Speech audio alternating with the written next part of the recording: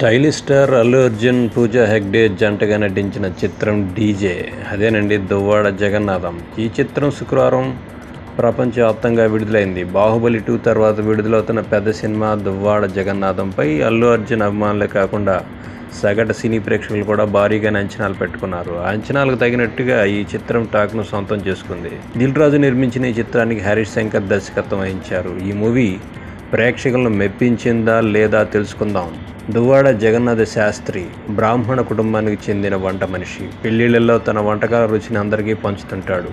తన చేతి వంటకు ఫిదా అయిపోయిన చుట్టుపక్కల గ్రామాల ప్రజలు ఏ వేడుకైనా జగన్నాథాన్నే పిలిచి వంట చేస్తారు.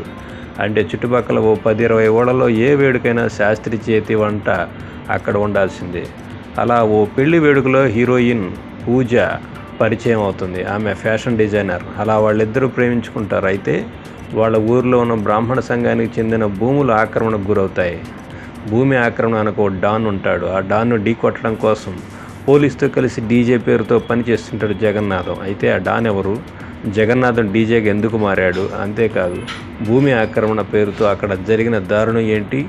శాస్త్రి హైదరాబాద్లో కొంతమందిని టార్గెట్ చేసి మరీ చంపేస్తుంటాడు. వాళ్ళను చంపాలనే శాస్త్రిని పురుషోత్తం ప్రోత్సహిస్తాడు.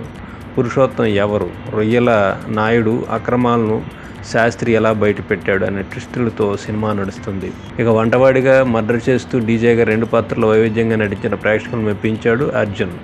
ఈ యాక్షన్ డ్యాన్స్లో మళ్ళీ తన ప్రతాపాన్ని చూపించాడు. Heroine Pooja Hegde glamour role పాత్ర పోషించింది. తన అందంతో ప్రేక్షకుడిని మనసు దోచుకుంది.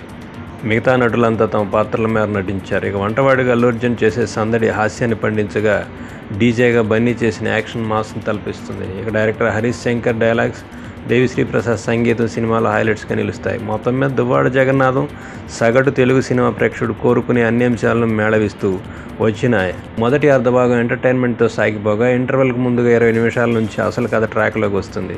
ఇంటర్వెల్ ట్విస్ట్ కూడా ప్రేక్షకులను ఆలోచిస్తుంది విజయవాడ నేపథ్యంలో సాగే సినిమాలో అగ్రి డైమండ్ ల్యాండ్ స్కామ్పై అండర్ కవర్ పోలీసుగా బన్నీ కనిపిస్తాడు. తమ వాళ్ళకు సంబంధించిన భూములను లాక్కునేందుకు ప్రయత్నించిన వారిని ఏ విధంగా మట్టుపెట్టాడనేది కథాంశం. రొయ్యల నాయుడు పాత్రలో రావు రమేష్ తండ్రి రావుగోపాలరావును గుర్తుకు తెస్తారు. ఇక పాటల్లో బన్నీ డ్యాన్స్ గురించి ఎంత చెప్పుకున్నా తక్కువే. గుడిలో మడిలో సాంగ్లో బన్నీ పూజా హెగ్డే డాన్స్ ఇరగదీశారు. అందాల ఆరబోతలో తానేం తక్కువ తినలేదన్నట్లు పూజా హెగ్డే నటించింది. విదేశాల్లో ఉండే ప్రధాన విదేశాల్లో ఉండే ప్రధాన విలన్కు పెళ్ళిళ్ళలో వంట చేసుకునే దువ్వాడ జగన్నాథంకు సంబంధం ఏమిటనేది ఇంట్రెస్టింగ్ పాయింట్ బ్రాహ్మణ పాత్రలో బన్నీ నటించిన తీరుకు ప్రేక్షకులు మంచి మార్కులు వేయచ్చు ఆదురు సినిమాలో ఎన్టీఆర్ బ్రాహ్మణ యువకుడుగా నటించి మెప్పించినట్టుగానే ఈ సినిమాలో తనదైన శైలిలో నటించి మంచి మార్కులే కొట్టేశాడు బన్నీ. మొత్తానికి బన్నీ అభిమానులు కాకుండా సగటు ప్రేక్షకుడు మెచ్చే కమర్షియల్ ఎంటర్టైన్మెంట్గా ఈ చిత్రం బన్నీ కెరీర్లో నిలిచిపోనుంది.